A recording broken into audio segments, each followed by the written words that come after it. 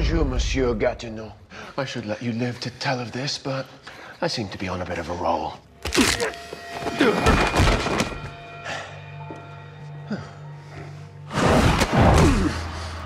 Why don't you pick on someone your own size?